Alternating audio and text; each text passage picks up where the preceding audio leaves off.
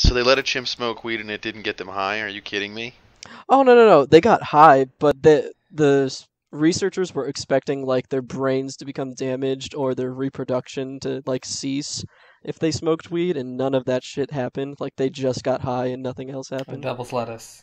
But uh, one of my favorite examples of a chimp smoking weed is um, in the documentary Jungle to Orbit's Ham the Space Ape from 1968. Um, let's see, it says in a summary it says copious amounts of cannabis smoke were pumped into the chimp enclosure. The effects were rapid.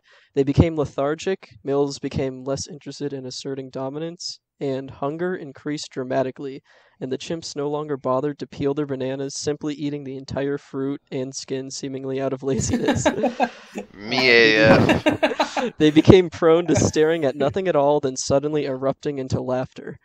so the reason they did this is they wanted to see if they could calm down Ham the space chimp uh, using weed before they launched him into fucking orbit.